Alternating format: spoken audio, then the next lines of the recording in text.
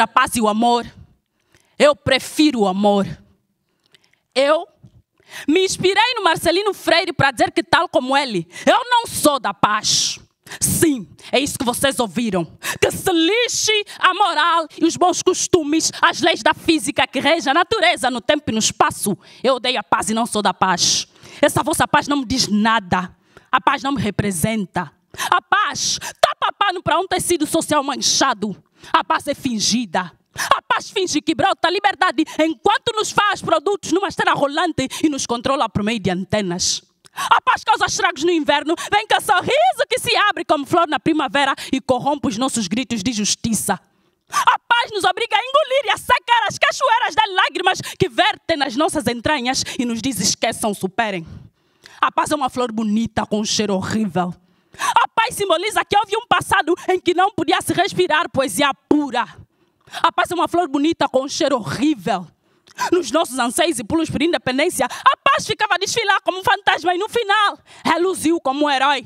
Estava sentado no seu comodismo nas primeiras fileiras do cinema enquanto as suas balas ensanguentavam a terra e apareceu, após o festim diabólico, o terrível rugido morteiro dos mártires. Como diz o Marcelino, a paz é pálida, a paz é branca. Essa vossa paz é bonita na mídia. A paz não jorra nas nossas torneiras, não dorme nos nossos musex e não visita os nossos pratos. Essa vossa paz não estava lá quando o meu sorriso emudeceu, o meu grito esvaneceu. Guerreia-se para alcançar a paz e guerreia-se novamente para manter a mesma. A paz energiza um circuito de horrores. A paz é o alfa e ômega da guerra. Querida paz, olha para mim e responda. Eu disse, olha para mim e responda. Onde é que você estava quando homens desesperados buscavam por um soro capaz de lhes dar a sobrevivência nesse tablet de vida cruel?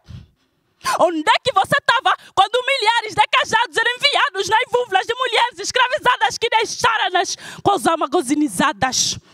Por que, que você foi se apaixonar pela guerra e não pelo amor? Eu não quero saber de sinônimos, antônimos ou significados linguísticos. Eu quero saber por que, que a paz finge que se importa. Por que, que ela age como uma energia nuclear atômica? Limpa, não polui, porém extremamente perigosa e fatal gelar uma nação, deixa a poesia roca quando a sua radioatividade decide abraçar a terra. Querida paz, quer que com tudo isso eu faça uma homenagem para ti? Quer que eu me dispa das ironias de Bukowski, me molhe das metáforas de João Tala, colhe a flor da poesia de Nuno Jacinto e te faça uma homenagem? Não! Chame o amor. A paz nos faz números e estatísticas. O amor nos faz prosas, verbos que hiperbolizam bem. Por isso, eu serei eternamente do amor e nunca, nunca serei dessa vossa paz. Merci.